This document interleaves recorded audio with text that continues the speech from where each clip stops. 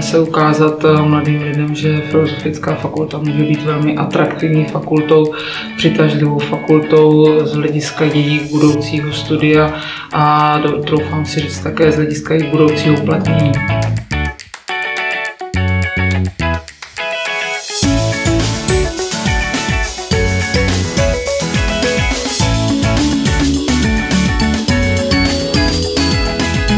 Teda říct, že to bylo zajímavý, vtipný. Příjemní všichni, milí a hrozně se těšíme a doufáme, že nám to vyjde.